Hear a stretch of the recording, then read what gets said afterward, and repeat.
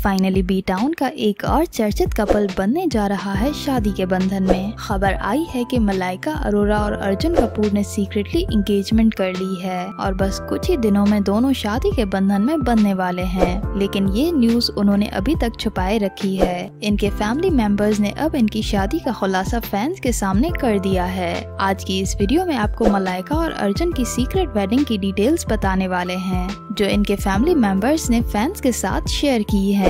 Video शुरू करने से पहले अगर आप हमारे चैनल पर नए हैं तो इसे सब्सक्राइब कर दें और साथ ही बेल आइकन पर भी क्लिक कर दें। आलिया भट्ट और रणबीर कपूर की शादी के बाद हर तरफ़ बी टाउन के कुछ फ़ेमस कपल्स की चर्चाएँ सुनने में आ रही है। एक तरफ़ सलमान खान और सोनाक्षी की शादी की चर्चाएँ हैं तो दूसरी तरफ़ मलाइका, अरोरा और अर्जुन कपूर की शादी की।